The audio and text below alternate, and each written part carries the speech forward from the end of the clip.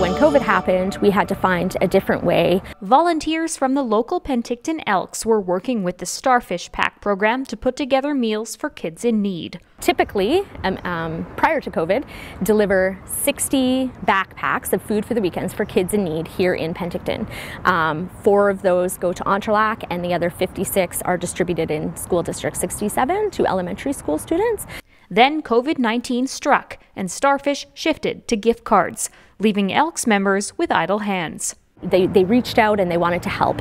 And so they decided to do um, an ongoing bottle drive just to raise funds for those gift cards and for what, what will happen in September with these kids. A few weeks in, the volunteers have sorted and donated $500 worth of bottles and cans with no plans to slow down.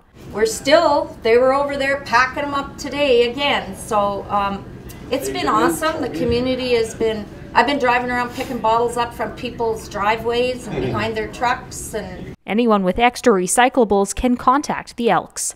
They just got a personal message me on Facebook because we have a Facebook group, Elks 51. Anyone's welcome to join and um, we'll grab the bottles the Elks uh, came forward with a commitment of $5,000 a year to help support Starfish. So this helps them because, of course, their club is closed, and so bar sales and meat draws and all these great uh, events that they have with proceeds going to things like Starfish aren't happening right now. So this is their way to financially contribute.